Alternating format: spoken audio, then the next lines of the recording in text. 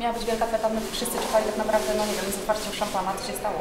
Mm, Zgadza się, no tylko przyszło mi przeprosić e, kibiców i Państwa, że dzisiaj e, nie udało nam się jeszcze awansować, ale mamy ostatni mecz i nie poddajemy się, gramy do końca. Nam tam wystarczy chyba nawet remis, ale będziemy walczyli zwycięstwo, dzisiaj no szkoda, szkoda, ten balonik został nadmuchany i zabrakło takiej determinacji do końca, może byśmy wykorzystali sytuację w pierwszej połowie, byłoby 2-0 i spokój, a tak trzeba walczyć do końca. No druga połowa niestety no, naj, najlepsza nie była i to jeszcze sami sobie w sumie dzisiaj taki los zbudowaliście. Mm, Zgadza się. Jeszcze taka bramka, gdzie wiedzieliśmy, że będą środkowywać na pierwszy słupek. No, nieporozumienie. Szkoda, szkoda na pewno e, tej bramki straconej, ale nie poddajemy się, walczymy do końca. A z czego to wynika, że na wyjazdach gracie naprawdę dobrze, a u siebie przed własną publicznością nie wygląda to dobrze?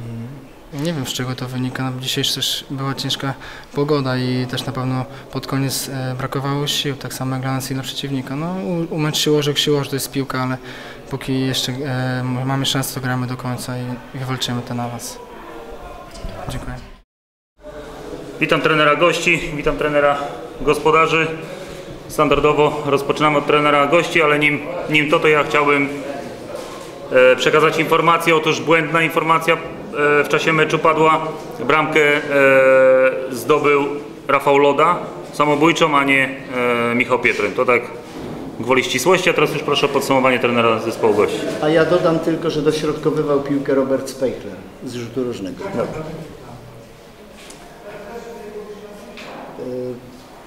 Powiem tak. e, Pierwsza połowa zdecydowanie należała do zespołu gospodarzy. E, No, piłka jest bardzo przewrotna, bo gospodarze bramki, bramkę strzelili w bardzo kuriozalny sposób.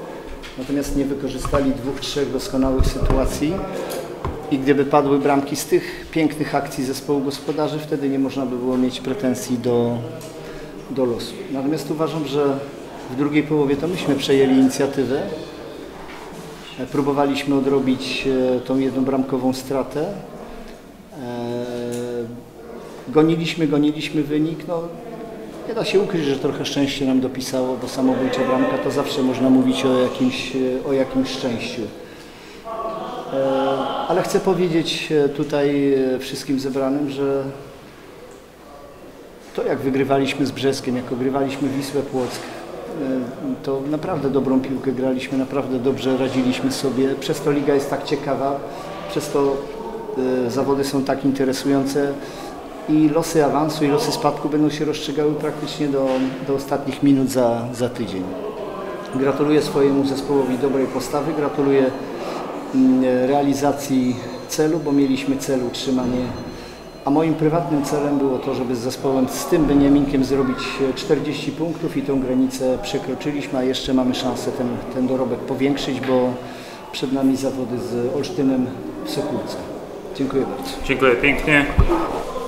Nie wiem, nie wiem od czego rozpocząć, ale przede wszystkim e, proszę o wyrozumiałość kibiców, bo wiadomo, że dzisiaj miała być wielka feta. Chcieliśmy tutaj skończyć, żeby to naprawdę fajnie wyglądało. No cóż, mieliśmy.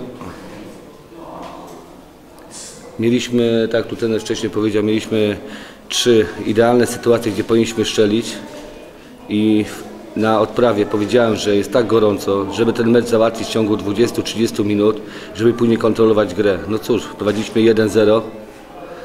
W drugiej połowie e, uczulałem zawodników, że mecz się nie skończył, że, że jeszcze musimy strzelić bramkę, żeby jakby powiedzieć, w spokoju dowieść to wszystko. No cóż, no stało się, strzeliliśmy bramkę samobójczą. Jest mi po prostu, no co, no przykro mi, że, że, że, że, że tak się stało i wiemy teraz w którym miejscu jesteśmy i po prostu trzeba jechać do puszy i, i wygrać, no. Wi- Wiadomo, że wystarczy nam remis, ale na pewno nie, nie kalkulujemy, że jadąc do puszy będziemy remisować. Trzeba jechać i wygrać, bo na dzień dzisiejszy lepiej nam się, jakby powiedzieć, gra na wyjazdach niż, ni- niż u nas. No cóż, no, ja tylko mogę przeprosić kibiców, zarząd i, i, i, i, i że, że tak się stało. No. Czy jakieś pytania od trenerów? Jeśli nie, to dziękuję 对。